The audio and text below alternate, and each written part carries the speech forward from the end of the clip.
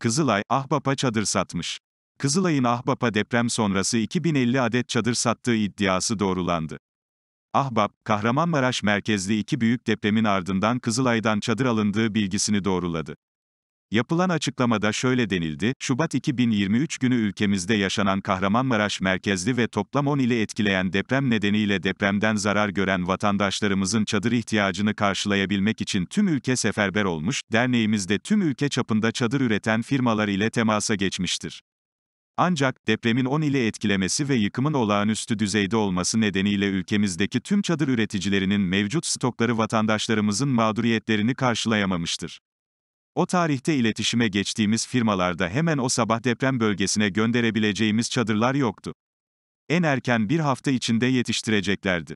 Çadırlar iki bölgeden gelecekti. Erzincan'dan 1232 adet, 8 tır çadır öncelikle en yakın şehirler olan Adıyaman ve Kahramanmaraş'a, Ankara'dan da 918 adet çadır Hatay'a gönderilmek üzere 10 Şubat'ta yüklendi ve aynı gece dağıtıldı. AFAD ile temasa geçildi ve çadırların dağıtımını yapma konusunda bilgi verildi.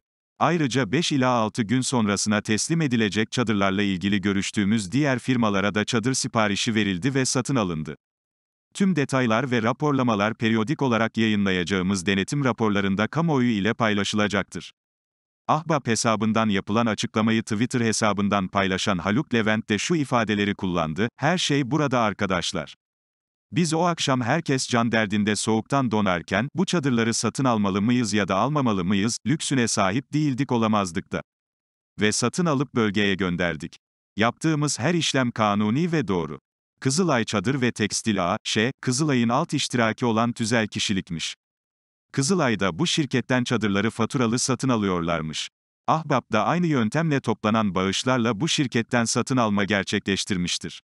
Zaten sitelerinde açıklama bulunuyor. Ve Kızılay yetkilileri bana, bu toplanan paralarla ham madde ve kumaş satın alınıp tekrar çadır üretilip vatandaşa ücretsiz olarak dağıtılıyor, dediler. Bilginize. Tüm süreç böyle yaşandı.